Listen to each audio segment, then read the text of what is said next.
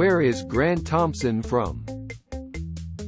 Grant Thompson resides in South Jordan, Utah, U.S. He is married and enjoys spending time with his three kids.